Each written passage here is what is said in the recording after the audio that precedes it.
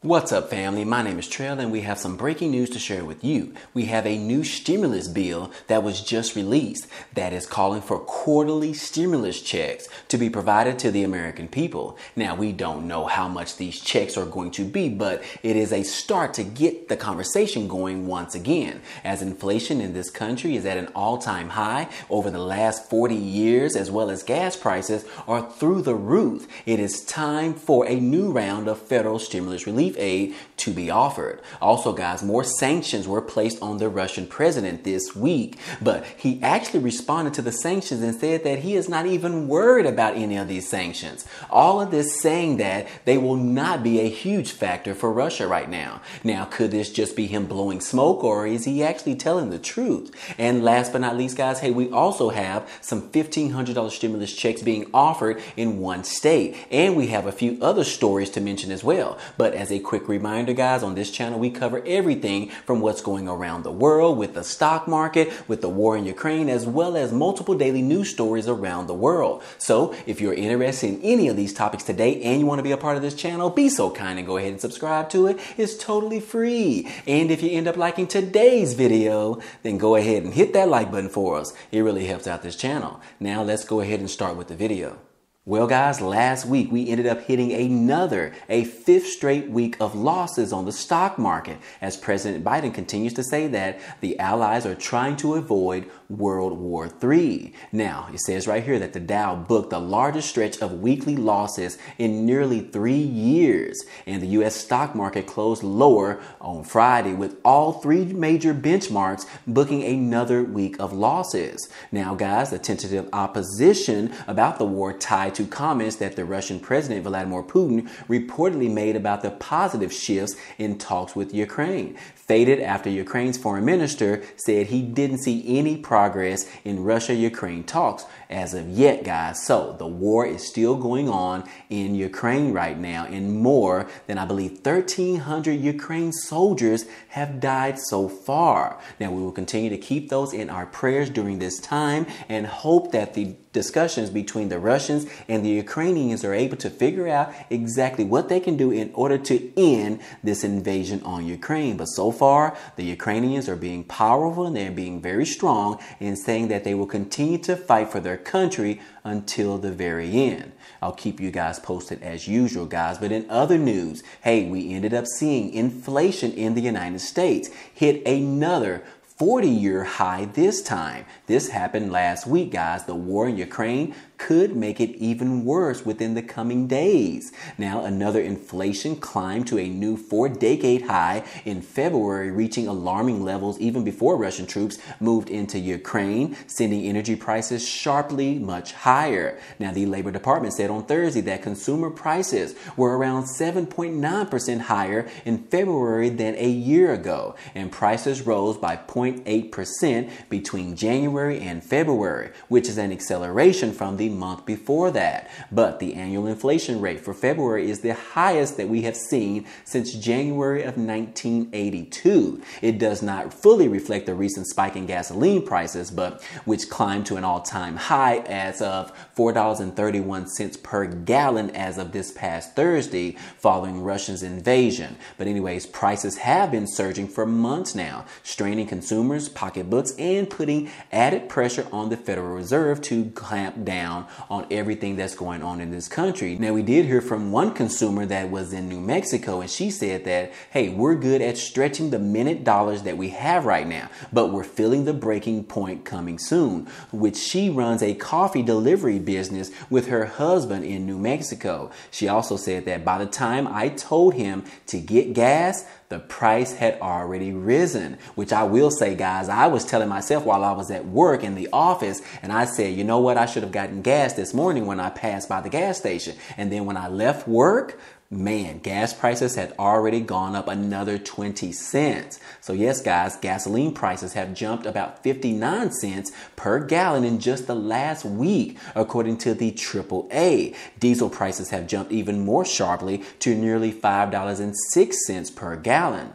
So again, guys, inflation continues to rise, and I believe that as long as this war in Ukraine continues to go up, hey, these gas prices as well as the inflation prices on goods and services in this country will will also continue to rise until this war is officially over. Guys, I know you guys are struggling right now. I'm struggling. I'm sure all Americans right now are struggling in this country, and especially those that are in the low to moderate income brackets. So, again, we will just continue to push forward and make our money last as long as possible until this invasion is over. And then we can move on to some other things. And hopefully, that the federal government will decide to put out a fourth stimulus check. We all would love to see that happen. But I do have some good news, guys. Stay until the end of this video. In other news, guys, hey, the TSA has now extended the travel mask mandate through April the 18th. Now, this is from the Transportation Security Administration is going to extend the current mandate for mask usage on public transportation and transportation hubs throughout April the 18th. Now, this mandate has been set to expire on March the 18th, but now they have extended it for another month. Now, this extension is based on the recommendations from the CDC, which was they put out a statement on Thursday and said that the CDC will work on a revised policy framework for when and under what circumstances masks should be required in public transportation corridors. Like recent guidance regarding masks in other settings, the CDC says that any revision will be based on the levels of COVID 19 at the community level, as well as on the risk of new variants, national data, and the latest science.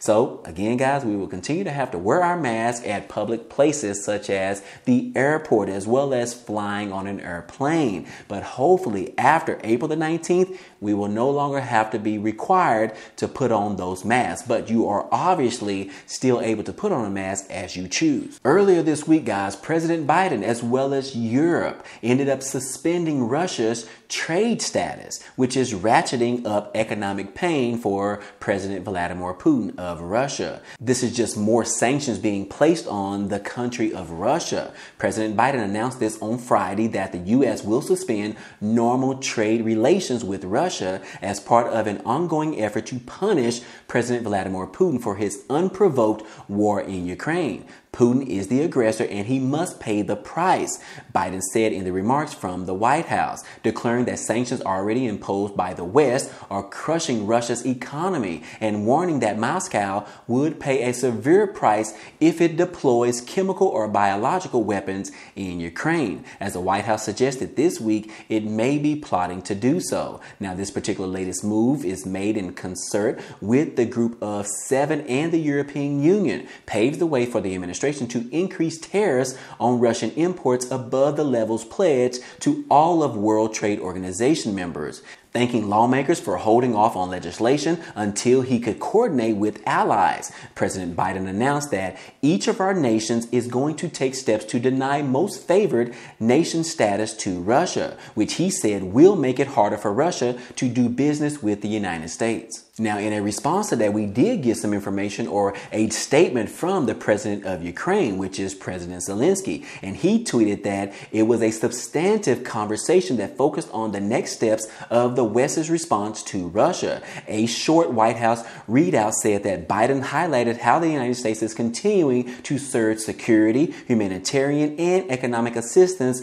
to Ukraine, as well as updated Zelensky on the latest moves, which are the sanctions being pushed down from President Biden and the United States. But Biden on Friday emphasized the importance of moving in lockstep with Europe against Russia, adding that doing it is unison with other nations that make up half of the global economy with another crushing blow to the Russian economy that has already suffered very badly from all of the sanctions that have been placed on Russia. So again, guys, we will probably see even more sanctions coming down the pipeline. Now, I don't know exactly what else the United States could put on Russia right now, but I'm sure they have something up their sleeves in case this thing continues on. And I will keep you guys posted as usual. But we did hear from Russia, guys, President Putin. He put out a statement and said, Look here, guys, hey, these sanctions that you continue to put on me and my country of Moscow and Russia, hey, it has enough energy buyers already,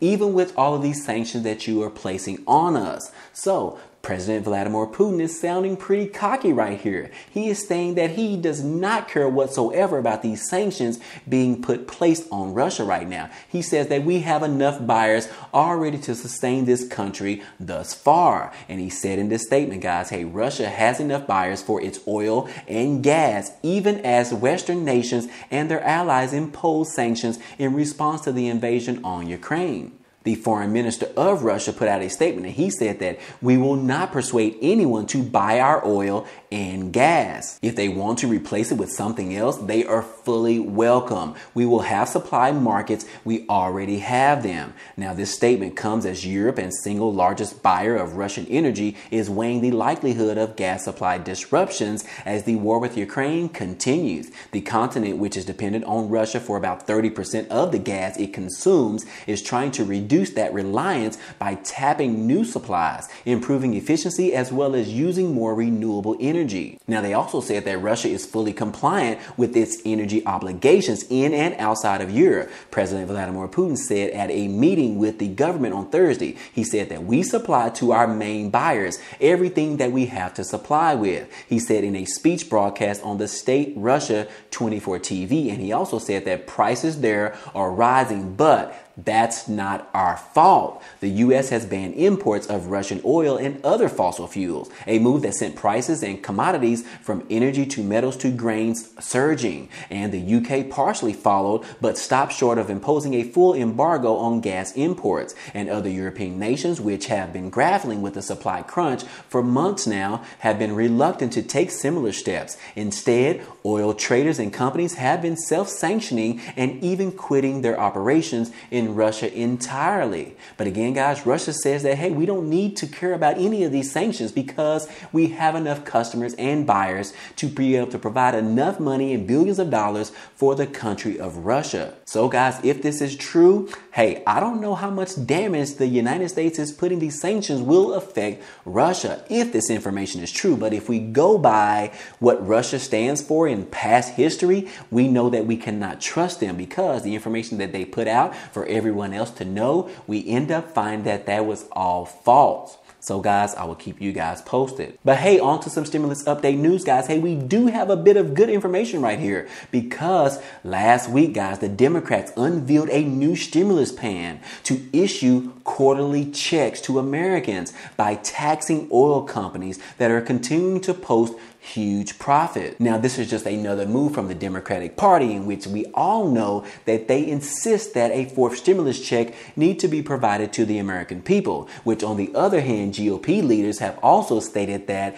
the American people do not need any more stimulus relief aid. So, again, guys, here it says that Democrats rolled out a plan to issue some quarterly stimulus checks to Americans. The bigger thing is that this is going to save everyone even more money. Now, this proposal proposal faces steep odds for passage given the GOP resistance. But guys, the Democrats introduced this bill on Thursday to tax the largest oil companies which are recording their biggest profits in years and use that money to provide quarterly checks to Americans that are facing sticker shock just about everywhere that you look. Now, this piece of legislation would apply only to large firms like ExxonMobil that produce or import over 300,000 oil barrels per day and exempt smaller companies. Now, the 50% tax would impose on the difference between the current price of barrel and the average price between 2015 and 2019. Now, Representative Khanna of California, as well as Senator Sheldon Whitehouse of Rhode Island, are the bill's main sponsors. Co sponsors include Senators Bernie Sanders of Vermont, as well as Elizabeth Warren and Michael Bennet of Colorado, as well as Sherrod Brown of Ohio. Now, this particular particular plan would also establish a quarterly payment program to provide direct payments to Americans that are struggling with the rising prices. Now, the income thresholds in the bill are similar to those of the third stimulus check, which was issued last year. Individuals tax filers making under $75,000 a year and couples making $150,000 per year would receive these particular quarterly stimulus payments. At $120 a barrel, single filers would receive 240 $40 per year, and joint filers would get $360. This is some amazing news, guys, because we have another finally another stimulus bill on the table. Now, whether or not this bill will actually reach the Senate and the House, we don't know yet, guys, but it is a step in the right direction. The bigger thing is that this is going to save everyone money, said Khanna said in an interview. If you're big oil and you look at this, you're not going to want to pay this particular tax. And so you're going to be willing to lower your gas prices, which is a strategy by the Democrats, I must say. Now, this plan faces long odds to become law as Republicans are opposed to tax hikes and centrist Democrats may balk at the measure as well. A spokesperson for Senator Joe Manchin office didn't even immediately respond to the request for a comment on this new stimulus bill by the Democrats. But hopefully, guys, we should hear more information about this bill and how many people actually will be willing to support this bill. We should hear something in regards to that this week, guys. I will keep you guys posted as we receive more information. And last but not least, guys, hey, we do have another article that's talking about some workers are going to see $1,500 stimulus payments. Now it says right here employees located in one California county will soon see payments worth up to $1,500 in stimulus hazard pay if they were essential workers for this particular county. Now it says that this is happening in Sacramento County where everyone who was an essential worker working at the peak of the pandemic can actually qualify for these $1,500 payments. Now there are two different ways that people will see this hazard pay. Now one payment would go out this fiscal year and another would go out the next fiscal year, which starts on July the 1st. And the number of hours you worked will determine if you get one or two installments installments of these $1,500 stimulus payment. Now it says that in order to get the first installment of the stimulus cash, you need to have worked at least 120 hours in person for a county between March the 5th of 2020 and March the 8th of 2022.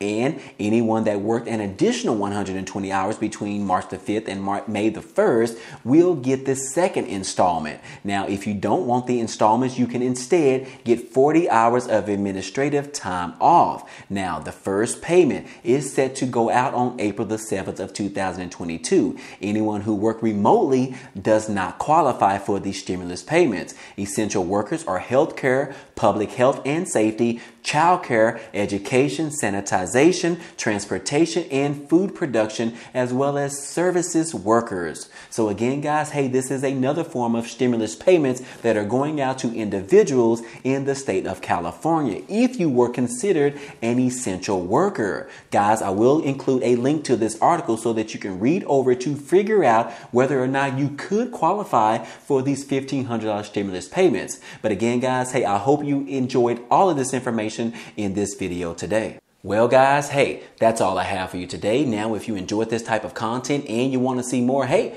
go ahead and subscribe to the channel. It's totally free. And if you like this video, then go ahead and hit that like button for us. It really helps out this channel as well as it tells YouTube to share this video with others. But anyways, guys, hey, I appreciate you guys stopping by and watching, and I hope to see you on the next video.